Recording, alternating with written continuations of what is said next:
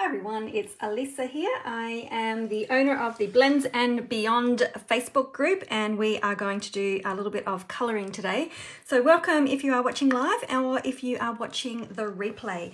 So at the moment I am um, designing for my uh, Creative Card Makers Club which is a uh, PDF uh, monthly tutorial group and I'm going to be using the Country Flowers uh, for this theme for, for next month. And we're doing a little bit of colouring um, in the in the membership. So I thought I would try and work smarter, not harder, and I would film this live for you guys and also have it for the members of the tutorial group. So I have got my images um, stamped out in Memento. So if you are new to using alcohol markers, then Memento is a water-based ink pad.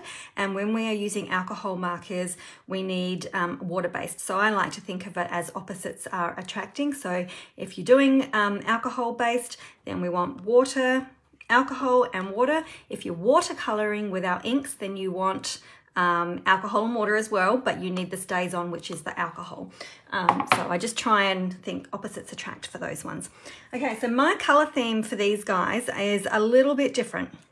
So I'm using um, the wild wheat. I have got some pool party and night of navy and petal pink. So they're quite different, but I thought I would start off and show you exactly what I did for one of my classes, um, for one of my cards, I should say, and show you. So the stool is actually pretty easy. So we're gonna start with um, the Wild Wheat Dark. Let me zoom in so you can see a little bit better what's going on, which is gonna put me in an probably an uncomfortable position I usually like to try and work a little bit closer to myself, but I've got to try and keep it in the frame. So I'm going to start with the uh, legs of the stool and I'm just flicking down with my dark. So these are sort of like a beginner style um, colouring. So we'll just do all of them and I'm bringing them down a fair way.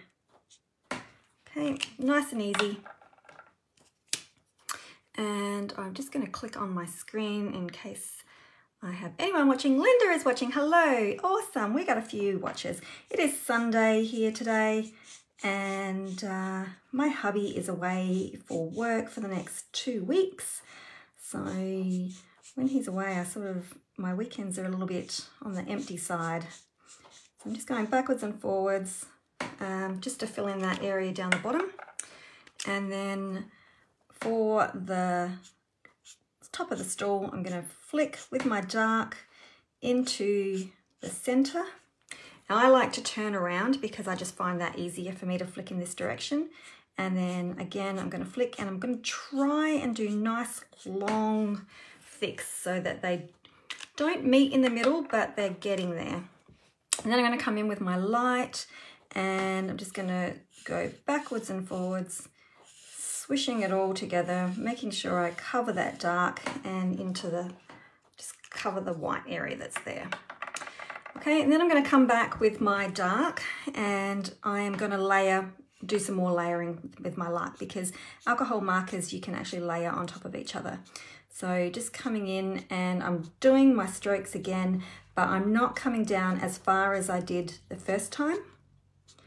And just doing nice, gentle strokes and that you can see how that's darkened up under there again. And then I'm going to do the same here, not coming as far as I did originally because I want to build up those areas on the um, outer side. So this way we get to use a little bit more of our darker markers instead of our light ones because we know how quick the light ones tend to want to run out. Okay, and then I'm going to come in a third time and I'm going to do another bit and just doing really quite light strokes. And again I'm just not taking it down as far. And then I'll repeat here bringing that in. So you can see I'm hardly doing I'm hardly taking it out anywhere near I did to start with. So that has just built upon itself and has made our stool so that's our beginners guide to the stool. Next, we're going to do um, the pot here, and I'm just going to look behind me. I've got the card behind me. I'm going to actually show you what I did and then I came back and I altered it. So that is what I'm going to do. I'll show you the steps that I did. Uh, so we're going to start with, um, I'll start with my petal pink. And again, I'm going to do the same type of thing. Um, so I am going to start with my dark and we'll come down the bottom here. So flicking towards the middle, swing it around, flick towards the middle. They don't quite meet. And I'm going to do the same with the top. So into the middle.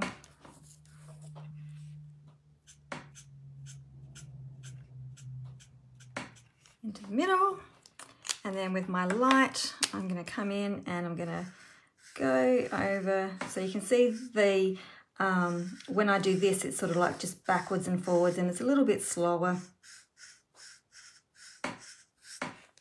Okay, and then I can switch back to, I can probably put away my light. I don't probably need it anymore. And we'll do that same building up with the, with the dark.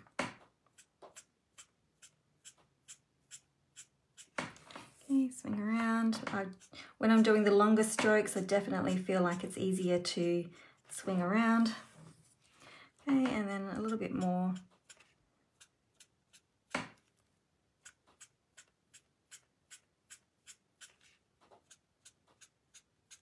I know it's Saturday night. If you're in the US, love to know what time it is in the US if you're over there. I'm thinking it's probably, well, it depends on what part of the US you're in as well. Okay, now my pool party is getting a little bit dry, my light one, but we're gonna have a crack anyway. Um, so again, starting with my dark, flicking in.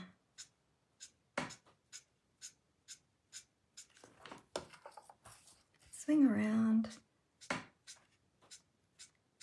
Okay, so this one, it's just pretty much the same as the stool, but uh, I will come back, I'll let it sit like I did originally, and then I'll come back and show you what I did. Now this one is getting very dry, and the way you can tell that it is becoming very dry is for a start, my nib is looking a little bit pale on the end, but it is very streaky. So when I try and fill this gap in, it is very, very, very streaky. So I'm not getting that good coverage. I'm not getting that nice blend. So I actually have to go over this quite a few times to try and fill that in. So I have got a new one sitting ready for my order on Tuesday. I'm hoping I can get all my cards done before it completely runs out. But I've Tuesday um, on the 21st, we have free shipping. In Australia, it's for orders uh, $65. So if you're not in Australia, then make sure you know what your spend limit is to get your free shipping. But it is on the 21st. Okay, so that is what I did. Again, pretty easy. Okay, for my leafy plant, I'm actually going to use these two colors. I like to keep within my theme and I didn't want to introduce a green into the mix. So um, I don't know if I can see. Oh, I can see comments. There we go. I've just found them. How silly. So Shannon is here. Hi from Southern California. 9 p.m. in Wisconsin, which is the central time zone. Oh, perfect. And just after 10 p.m. on a Saturday night. Oh, in Canada. Wow, that's getting late, but I suppose it is Saturday night. We get to stay up a little bit later on a Saturday night, right? Um, okay, so now I'm just going to show you very quickly. I don't know whether this is normal or not, but I'm just looking for a scrap of card. My um, my Misty Moonlight um, markers are very, very different in colour. And I'm not sure whether yours are like that, whether they're supposed to be like that. I can see a bug flying around in my room. I can see him, see his uh, reflection on my glass mat. But my two colours are very, very different from each other. So I do prefer the dark one better. I'm just gonna see if I can catch the light on that a little bit better, but they are quite different. Together they sort of are a little bit okay. They're not a true misty moonlight, but I like I like my dark one better. So I'm gonna put, put my light one aside. I'm not gonna use that one, I'm just gonna use my dark. And just for um, uh, letting you know, I have replaced the nib on this one and I do believe I replaced that one with uh, the classic. I replaced it with one of these, a classic one. So I had just bought a handful of different nibs to try out. Um, that is the one that is in this particular nib here. Um, I do have Ohuhu in other nibs, but anyway, so I am going to start with this one because this one is fun. So I'm going to do one at a time.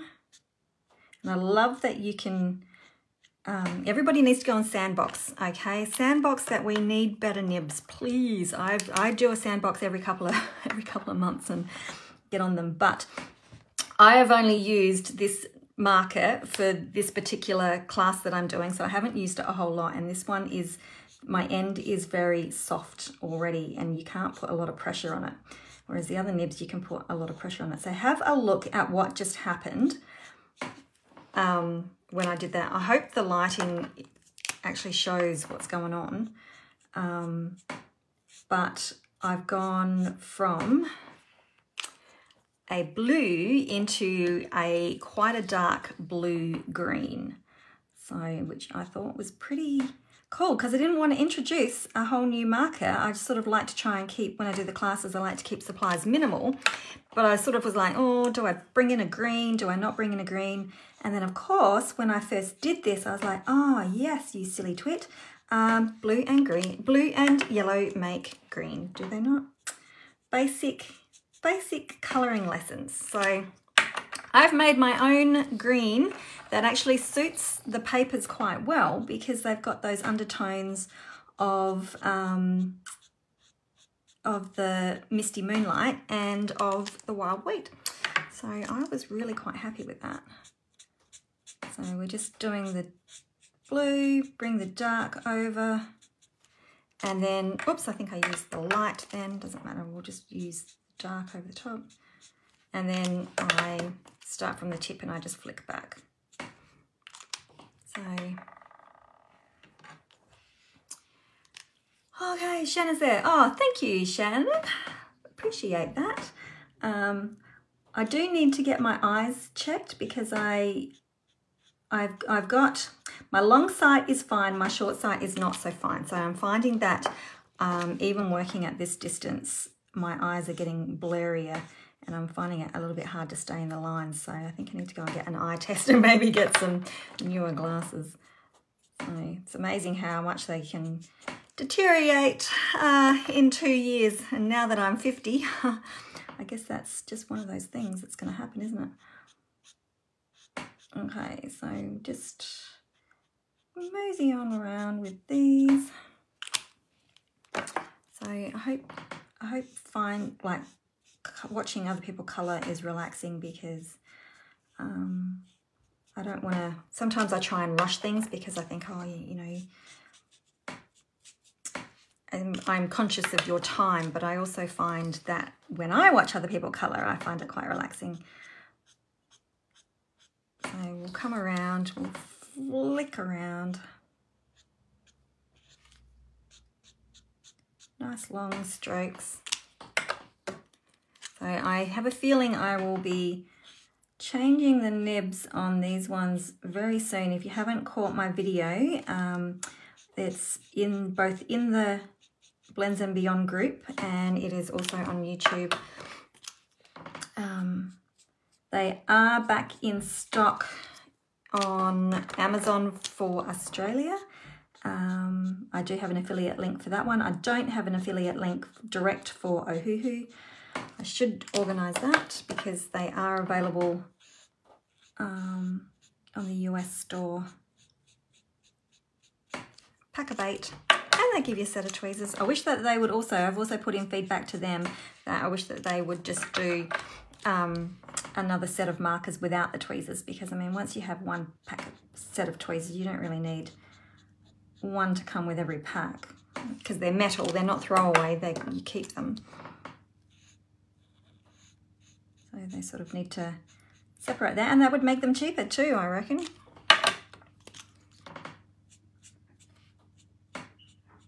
Perhaps they don't want us to know exactly how cheap the markers nibs are, so it is, it's almost like a, It, it is almost like a khaki color. It's like a, a blue based, it's, it's a very blue based green. I'm trying to, I wish the lighting would sort of, I should, I'll, I'll pull in some other greens and, and we'll have a little comparison afterwards. Now I'm going to switch to the bullet because I just need to do these little stems, the stalks of the leaves. And I'll just go over that with my wild wheat. Now, what I also did is because, um, I, you know, Misty Moonlight is in the mix, I did actually come back and add just a tiny bit of um, the Misty Moonlight, again, just around the top areas, or if there was any, uh, if one leaf overlapped another, just to add a little bit of dark. It doesn't go blue, it actually stays, it, it takes on the green tone. Um, and it just sort of separates those leaves just a tiny bit more. So I'm only putting like tiny, tiny amount down. And apologies if you are going to hear noise now.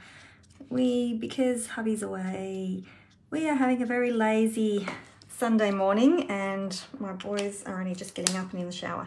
Now I do have a little bit of bleeding around there, but you know what? It's very minimal. I'm not too fussed about that.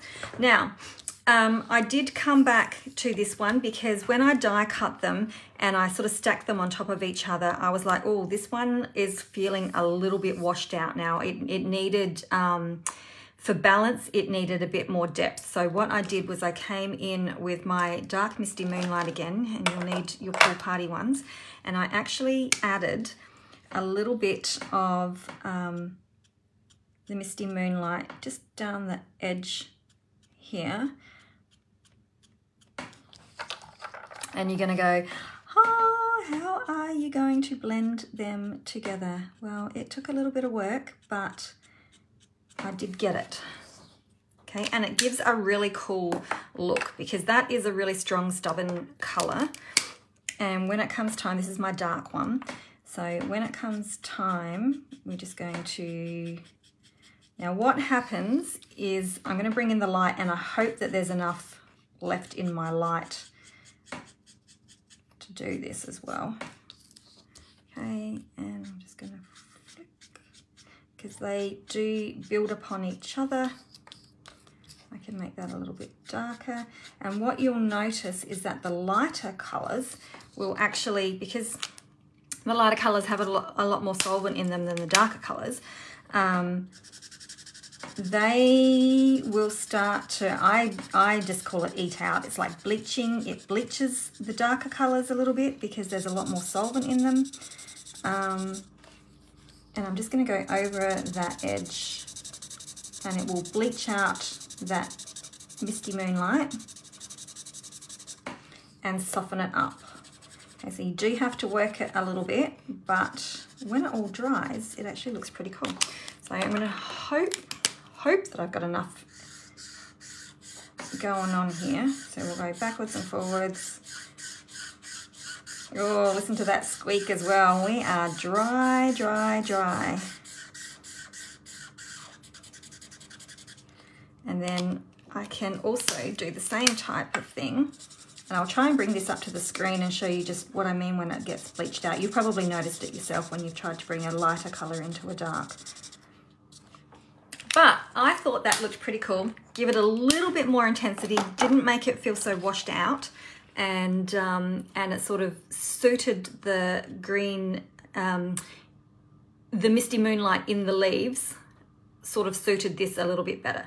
So you can see how it's sort of like given a little mottled um, and washed out and bleached out look, but I quite like that look. So, um, but it just added a little bit more oomph and um, yeah, so there we go. Okay, so let me pull out, just, just for fun, let me pull out some greens and we'll see, this is um, Mossy Meadow. Oh, should that nibs. Oh, there you go. Look at that.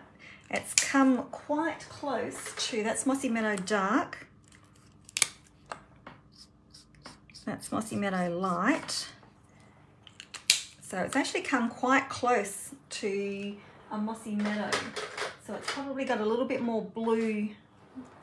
And this is, um, this one is a Super Brush Copic nib. which is what's in the regular Copic markers. So that's Old Olive, so it's definitely more of a blue, um, more of a blue mossy meadow, a blue-based mossy meadow. There you go, but that's fun. I thought anyway, there you go. So if you're doing, um, if you want to keep supplies minimal and you need your green, don't forget, blue and yellow make green. a happy little accident I had. So there you go. Hope you um, enjoyed watching. Thank you, Bonnie. Um, I do. I was away for a little bit, and I was sort of like getting um, catching up, and I'm catching up now, and I'm getting there. So, but I do want to try. Glue on my glass mat. I do want to try and set a regular date that we just come in and do a live, just basic stamping, not making any cards, just basic colouring um, and just sort of like beginner style colouring. So I'm hoping to put that on my agenda once I get everything cleared off my plate again. so thank you very much for watching. Have a great rest of your Sunday afternoon or Saturday night, um, or I think in the UK they will possibly be uh, in the middle of the night and they will be waking up uh, in a couple of hours to hopefully catch this. So thanks very much for joining me and we will see you again soon. Bye-bye.